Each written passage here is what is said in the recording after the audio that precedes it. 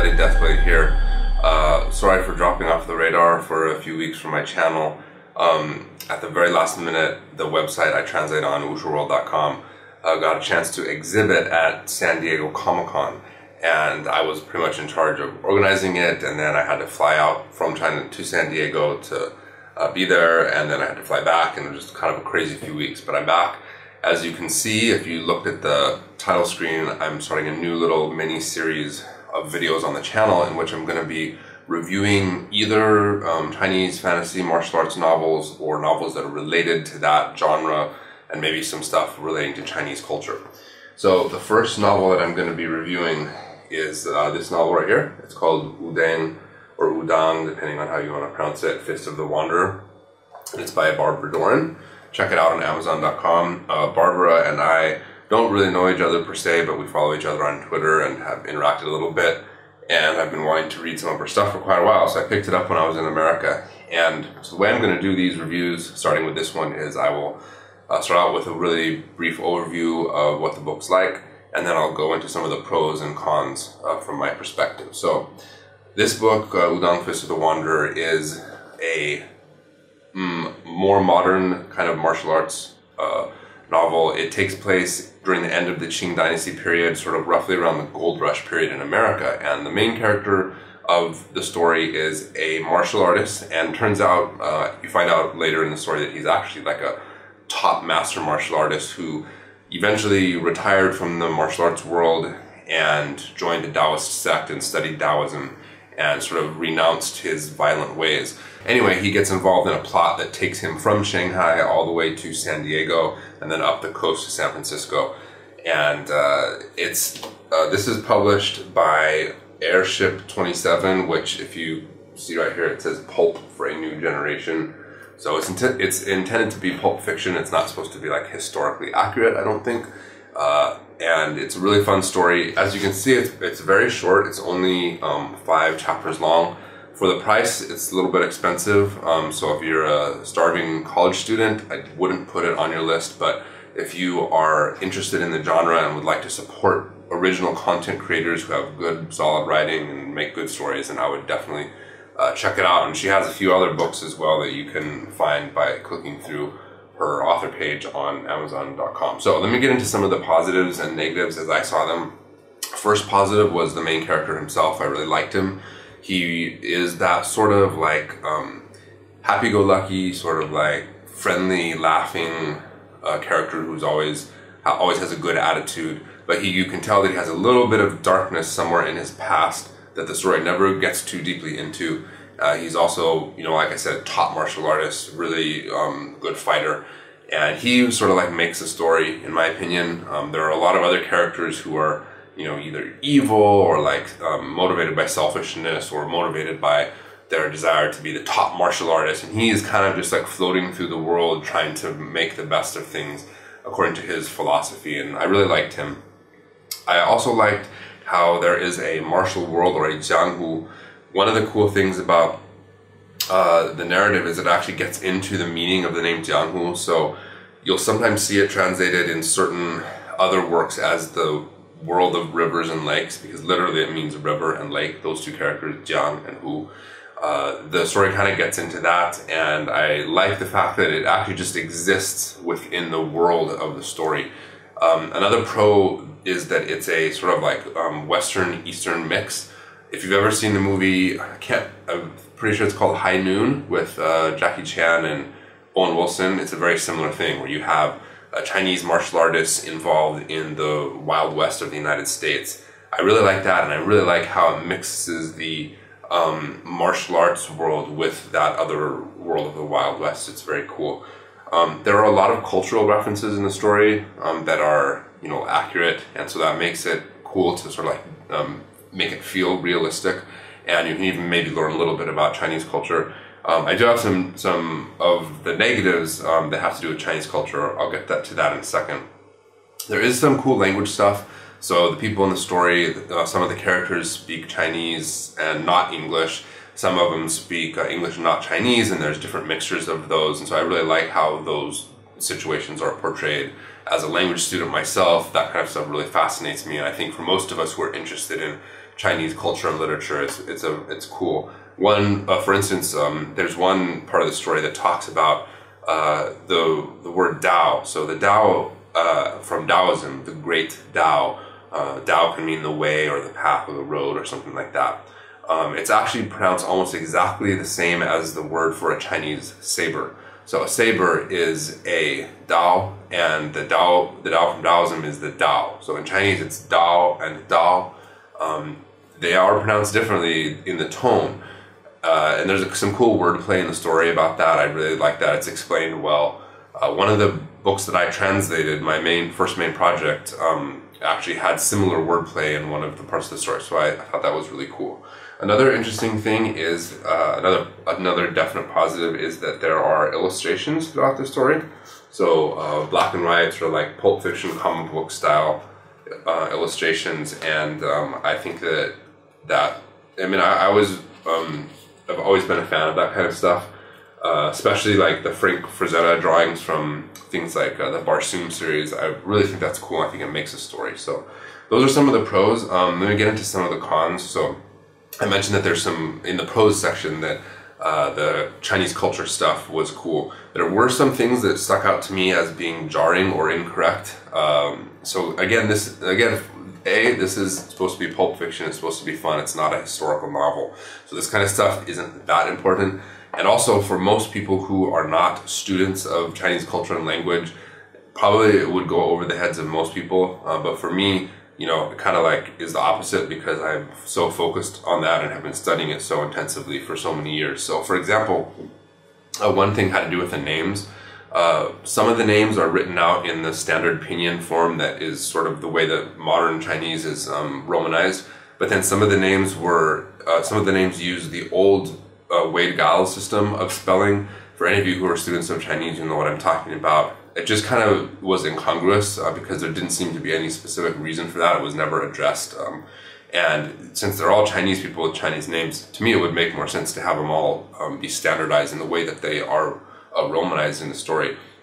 Another big cultural thing that really jumped out to me, and I, again, maybe I was misreading this or I didn't read closely enough. I, I read this on the plane flight back from America to China, and it was a long flight, and I was kind of tired. So maybe I missed the explanation for this, but um, the story portrayed um, Chinese hairstyles in a way that didn't make sense to me. Well, let me explain. So, if you've ever seen kung fu movies or any kind of historical dramas, you you'll see the ones that take place in the Qing Dynasty period. Um, the men have the front half of their head shaved, and the back is in a, a long braid or a queue. And in the story, it seemed to imply that uh, only people of the Manchu background or heritage would have their hair done like that. Now, historically, what happened was the Manchu people basically took over China. They founded the Qing dynasty. Qing Qing dynasty was not a Han Chinese dynasty. It was um, foreigners, basically, um, within China, foreigners. Um, and so one of the very first things, in, one of the very first rules they instituted was that hair thing, that the men had to shave the front of their head and have the back in a queue. And that was basically a way of controlling the populace and asserting their authority.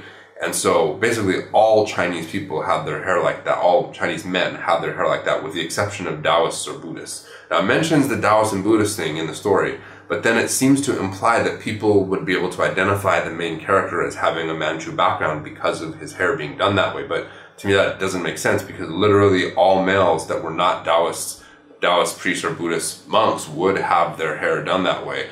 And so there would be no way for someone to just look at another person and say, "Oh, you have a Manchu um, heritage. Your bloodline is Manchu because your hair is done like that." Doesn't really make sense to me. Um, so again, maybe I misunderstood something, but that kind of jumped out to me. There were a few language things that, um, you know, as a language student, I'm like super focused on those kind of things. And there were a few things that jumped out to me as either mistakes or unrealistic. For example, one thing was that it, it uh, referred to Manchurian and Mongolian as being Chinese dialects, and they're not Chinese dialects. They're separate languages. They're not part of the main Chinese language group. Um, closer to Chinese and English, obviously, but they're definitely not dialects. They have their own um, alphabet. They have their own writing system, and they're pronounced totally differently. So I felt like that was incorrect. Another part that jumped out to me as odd was there was a scene where there are some people. Uh, I'm pretty sure it was in a forested area and there were some people off in the distance speaking Hunanese, the Hunan dialect of, of China. It's the same dialect that uh, Chairman Mao spoke. and they're off in the distance, kind of yelling. And then the main character, and I think he's with some other Chinese characters, are uh, Chinese people characters in the story. I, they're able to hear those people shouting and can understand them. Feel like that, like it really jumped out to me as being unrealistic because the Hunan dialect is like crazy. If you ever, if you are a student of Chinese and you can listen to some videos of it, like even videos of Chairman Mao uh, speaking Hunan dialect, it's like almost impossible to understand. I, I, remember one time playing one of the videos for my wife. My wife is Chinese, um, grew up in China, you know, and and I was like, "Can you understand what she, what he's saying?" And if she listened very carefully, she could understand what Chairman Mao was saying, most of what he was saying. But again, that was like a speech with extended dialogue. So I feel like people yelling off in the distance, it would be really hard to understand what they're saying. But again, it, I guess it would depend on what they were saying and a lot of other details. I know I'm nitpicking here. A final thing, I wanted to talk about some of the sort of plot things that jumped out to me. Uh, there were a few things that seemed like super unrealistic. Again, I understand this is it's it's pulp fiction. It's just supposed to be fun and you know an adventure and action and things like that. So it's not supposed to be Game of Thrones or something. But there were a couple, I think at least two scenes in which the heroes encountered some villains, and the villains had just like within the past day or hours or something had literally murdered everybody in like in a town or a building or I forget what it was. And like heroes like saw the bodies, or maybe I forget if the heroes saw the bodies or if it was revealed to us in the narrative. Point was these are like bad guys who are who are not have no compunctions about murdering people. And yet, when the heroes stumble into them, the bad guys like capture them and don't kill them and throw them in a back room, and then they can escape and like come back to defeat the bad guys.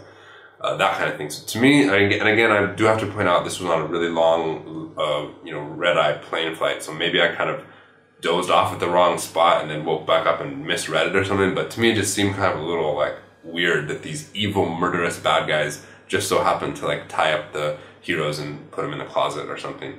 Uh, maybe that's maybe that's a throwback to you know old '50s plot uh, pulp um, novels and that kind of movies and stuff. I don't know. Maybe it was intentional.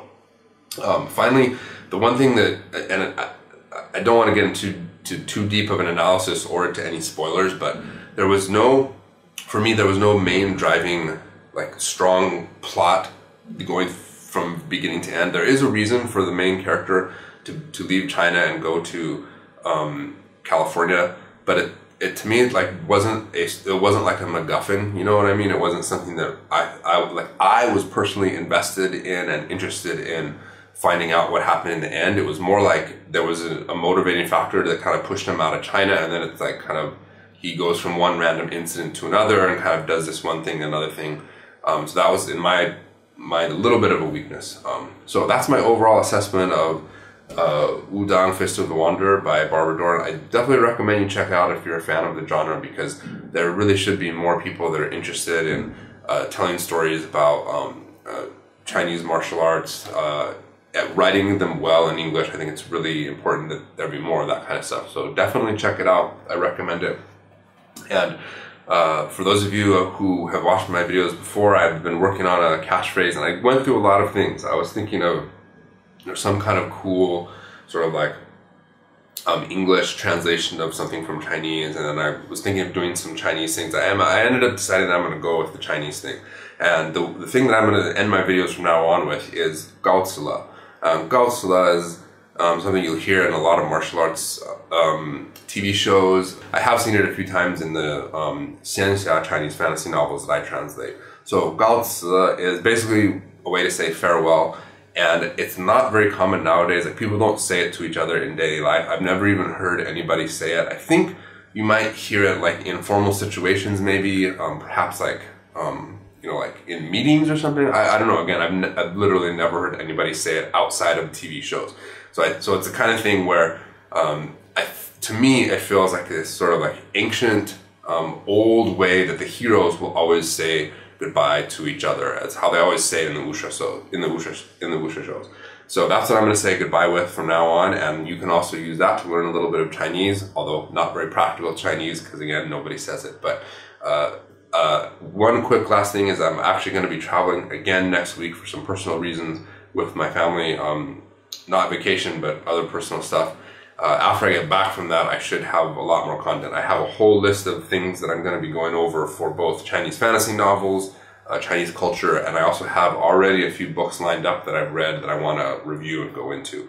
So that's it for this video. I'll see you in the next video. God.